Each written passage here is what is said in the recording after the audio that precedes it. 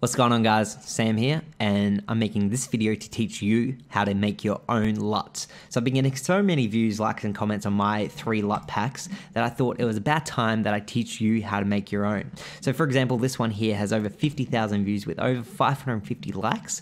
This one here, 32,000 views with over 600 likes. And then this one here with over 25,000 views and over 600 likes. And you know, they get a ton of comments in these Dropbox uh, download pages as well.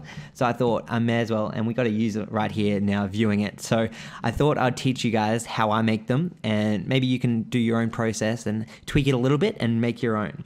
I've been running around all day, picking these flowers for you.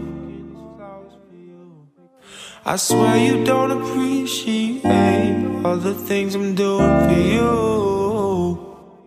So without further ado, let's just get into it. So I actually make mine here in Photoshop. So using the whole Adobe suite, um, Photoshop is super powerful. Obviously, you know that you can edit photos really well, um, but it's also good for coloring and you can export the LUT back into Premiere and use into Premiere. And that's what I've been doing with all of my LUT packs. So basically you just want to take a still frame from uh, a video that you're going to work on. So for example, I'll just export this one. Um, and then you just bring it into Photoshop here. So if I just go to my desktop to the LUT pack that I'm going to be working on and selling, um, you just basically drag it into here. So before you get started, you want to make sure that it's a locked background layer, which this already is. And by default, it should be.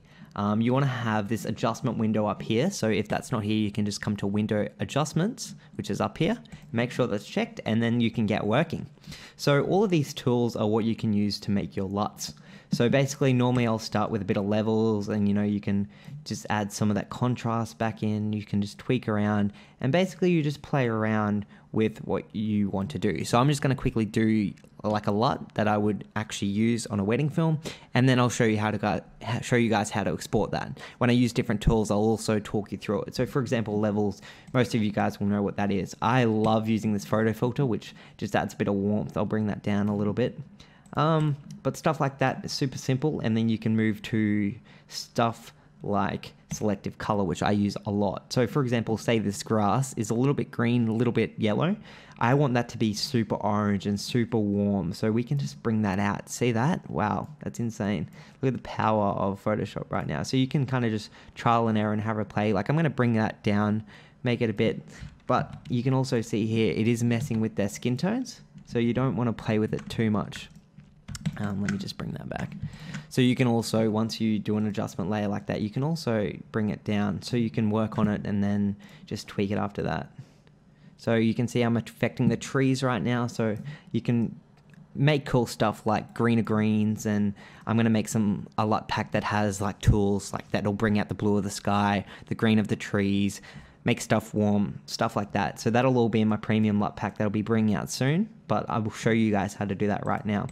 So this is a super powerful tool. This is probably my favorite tool for making LUTs because um, you can just really dial something in. So, you know, you could do a teal and orange kind of thing, which is kind of what I'm doing right now. You see I'm tealing the sky, warming up the the field as well. So you kind of just um, play around with it a little bit. You can see I'm affecting the mountains right now. So I normally just have a quick scrub through and see what I'm actually affecting and then just dial that in. Um, so we're getting there, getting nice. Uh, so just to see what that's done, wow, insane. Bit of warming, just adds it over a warmth, and then the levels, obviously. I'm actually going to make this a little bit more indie, a little bit more faded, but then crush those blacks a little bit more. Make it kind of a little bit of a vibe. cool. Something like that's pretty awesome, I feel. Uh, what else can we do? We can do a little bit of, uh, where did I just see it? Uh, hue and saturation. See, I'm just going to bring the saturation down a little bit. Uh, what else have we got? You can just have a play with a lot of these. So you've also got stuff like your vibrance, you've got your normal curves. Color balance is pretty cool, and it also separates it into these three things. So you can bring out some green, etc. Um, you can just have a play. I normally just trial and error it a little bit, uh, go off by eye. That looks that's actually done something pretty nice too. All right. So now let's say that's our final look. That's what we want. You just come up to here and you go File, export, and you want to come to this color lookups table. Boom. You want to do uh, like this medium 32 grid points. You want it to be a dot cube. Um, you can just call this whatever you like. This isn't actually the file name, but I like to just um, label it too. So this was an Emily Mika still, so I know what scene it's from. Hit OK, and then it'll bring up here. Um, and this is your premium wedding LUT pack that I'm working on. So let's just say Emily Mika. Um, this isn't actually going in the pack, but it's just for an example. That'll export it out. And let's come back into Premiere now, and you can see it added onto the clip. So in the Creative tab, or you can do it in Basic Correction, you just come here, hit the Browse button, I'm going to hit Emily and Mika, and now you can look and see it is exactly the same. So if you play through, perfect. That is it. And in here, you can also tweak it a little bit if you wanted, say if you wanted a bit more contrast or whatever you fancy. Sharpen it up. There you go. There is a little LUT that we have now imported.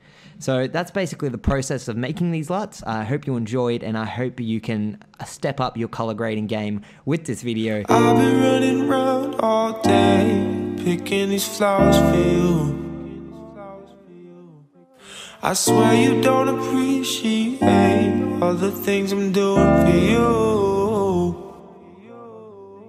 I've been running around all day, picking these flowers for you. Oh yeah. I swear you don't appreciate me. There really ain't that much to say. Cause baby, I ain't got room for a broken heart. Had to throw it out, no use in broken parts. Had it working overtime until we broke apart. I was broken down. So I got room for you.